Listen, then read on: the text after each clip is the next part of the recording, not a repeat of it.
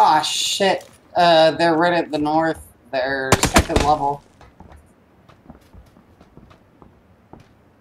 If you walk up the stairs, they're right here by my body.